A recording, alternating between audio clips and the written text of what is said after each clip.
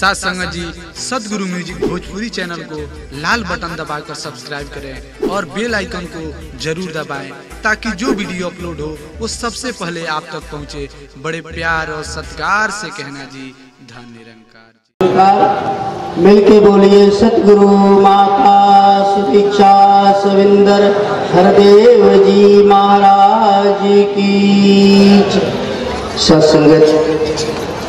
आओ मिलके शुक्र मनाए। खुशनुमा समय जो ऐसा पहली बार यहाँ पे देखने को मिल रहा है। दास हमारे ब्रांच प्रशासन के और तमाम एडमिनिस्ट्रेशन के अधिकारी, आदरणीय श्री अशल खुराना जी सत्संगत बड़ी ही कृपा किए।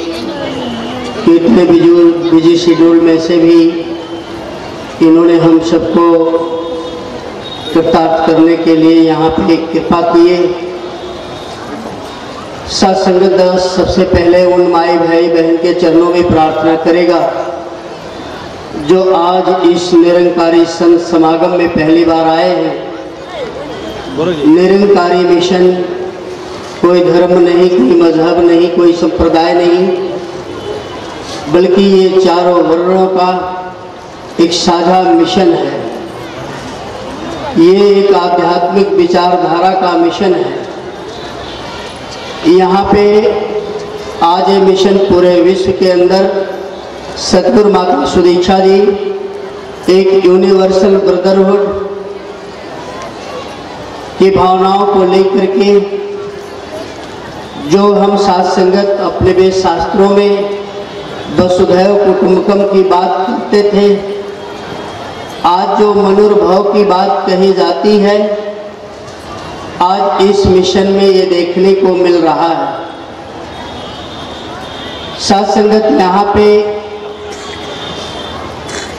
एक परम पिता परमात्मा ईश्वर के बारे में जब हम अपने बुज़ुर्गों के पास बैठते हैं, अपने ज्ञानी संत महात्माओं के पास बैठते हैं, परमात्मा की बात करते हैं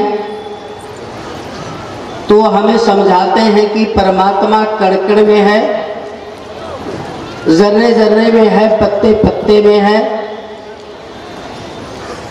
तो आज ये निरंकारी मिशन के इस मंच से एक ही आवाज़ दी जा रही है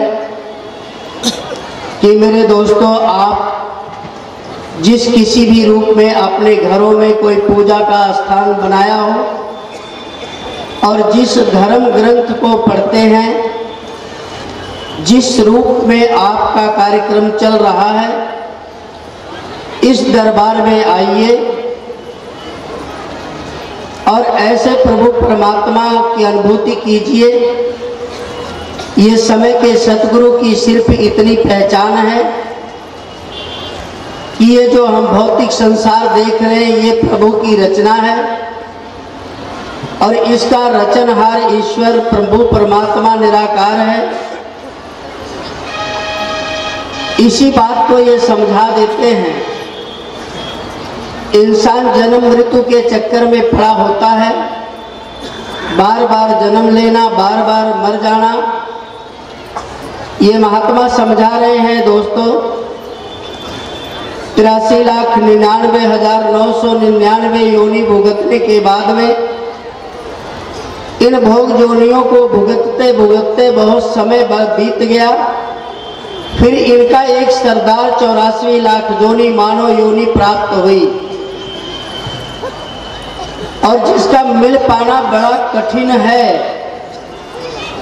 और इसी योनि में इंसान को इस सत्य का बोध हो सकता है।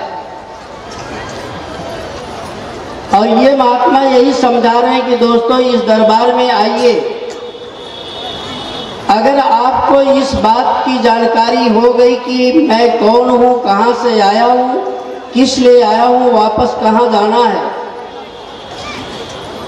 तो मुबारक है। अगर नहीं आपको इसकी जानकारी हो पाई तो इसके चरणों में सजदा कीजिए। और वही सदियों पुरातन ज्ञान है।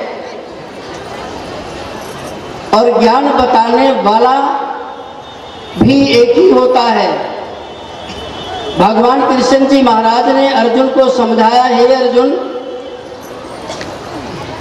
जिस किसी भी देल, देश काल में मेरा ब्रह्म ज्ञान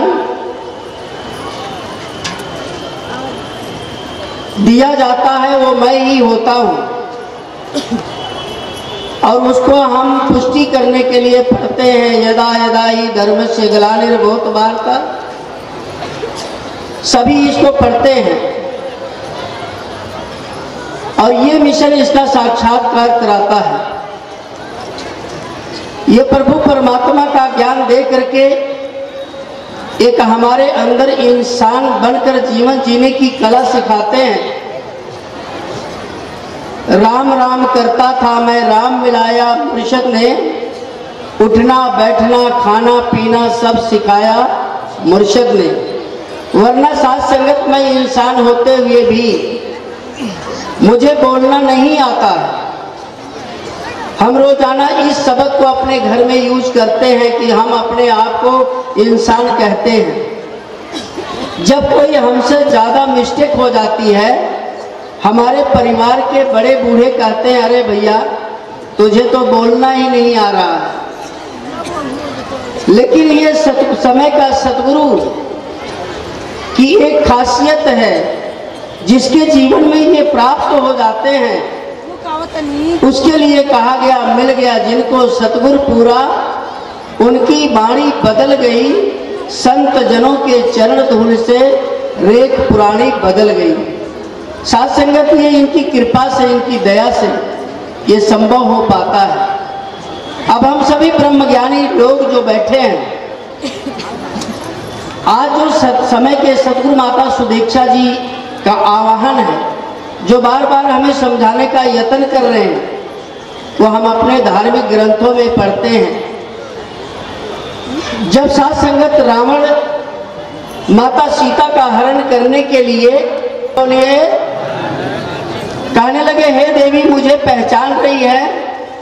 बोले, स्वामीनाथ, मैं पहचान तो रही हूँ, लेकिन क्या आप मुझे बताएँगे कि आप जो है, राजा से ये साधु वेश में किस प्रकार से आए?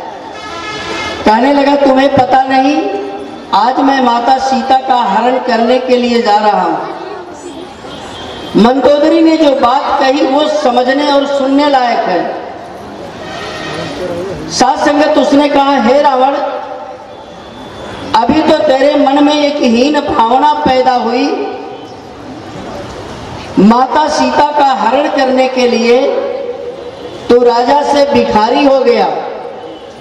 सोने का मुकुट भी नीचे आ गया। और जिस दिन तू माता सीता का हरण करके लाएगा, तेरे कुल का क्या होगा? आज यहाँ पे एक बैनर लगाया जाता है, जैसी दृष्टि वैसी सृष्टि। तो आओ सात संगत सदगुरु माता जी का धन्यवाद करते हुए शुक्राना अदा करते हुए आप सबका दास धन्यवाद करता है। और मिलजुल करके सभी ब्रह्मज्ञानी बैठे हैं, ये देनहार मेरा सतगुरु बैठा है। इनके बारे में चंद लाइन ही रख रहा हूँ कि ये खुदा का नूर है, यही खुदा का रंग है।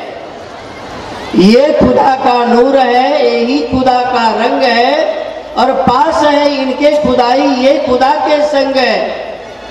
आ दिखा दू तुझको अल्लाह राम का दे दू निशान, देख ले तू उस खुदा को जो खुदा बेरंग है। यूँ तो खुदा की राह दिखाई हर पैगंबर पीर ने। यूँ तो खुदा की राह दिखाई हर पैगंबर पीर ने। पर सतगुरु माता सुदीक्षा का सबसे निराला ढंग है, सबसे निराला ढंग है। तो सात संगत, दातार आप कृपा करना, समय के मालिक हो, प्रभु निराकार आपके चरणों में प्रार्थना है। जो एक एक कदम चल के सभी भाई बहनाएँ सबकी सेवा नमस्कार प्रदान करना, जो किसी कारण से नहीं आ पाए, दातार उनके ऊपर भी कृपा करना, सबके घरों में आर्थिक, पारिवारिक, सामाजिक खुशी देना, आस, औलाद, इज़्ज़त, रोजी इज़्ज़त मान देना हम सबको सुमत का दान देना, तन से, मन से, धन से इतनी ताकत देना कि हर संत परिवार की सेवा करते हुए लोक सुखी पर लोक सुहेला कर पाऊँ। मैं तो मांगू भला, आप सबके लिए, आप मेरे भले की दुआ कीजिए, प्यार से बोलिए।